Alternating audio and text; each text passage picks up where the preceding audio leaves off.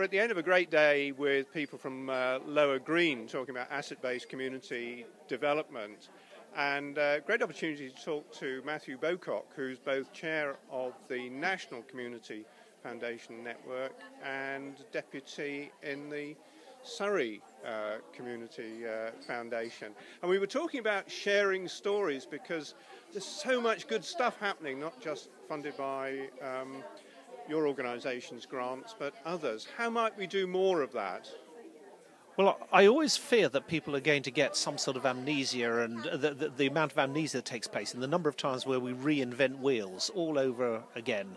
And I think there's a lot of ways in which we can harness social media to make sure we link up people that are really the conveners, the connectors, the people, the activists, the people who are making things happen, so that we don't rely on trying to find clones of Cormac to be able to spread the message, but instead people can share their experiences, share how they overcome problems with each other using social media rather than having to rely on Cormac coming to visit them every so often. And uh, you get around the country, I'm sure, talking to some of these uh, uh, local projects. Are you hearing similar stories from people? Is, is there optimism out, out there?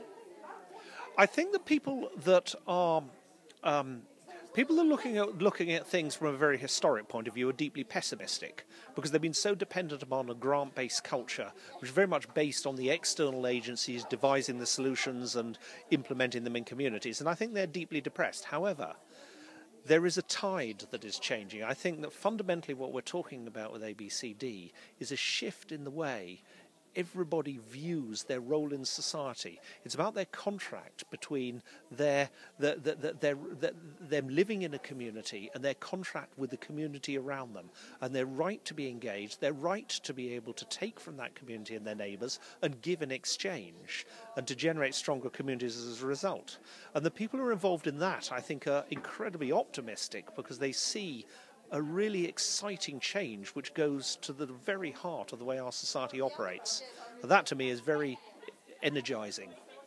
And so, can foundations play a part in shifting from the grant dependency, currently pessimistic view, into some of the community building work we're talking about here? But I've also seen on the ground uh, in Manchester, for, for example, with Forever Manchester.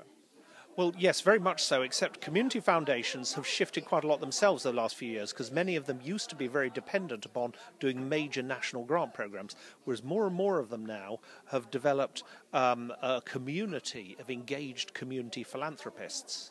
Those philanthropists very often are engaged with change in their community themselves. So they're also people that need to be brought into the ABCD way of approaching things so that they're not giving grants anymore. But as Cormac very succinctly said today, the funding ends up being a backstop once you've looked at all the assets there are in a community.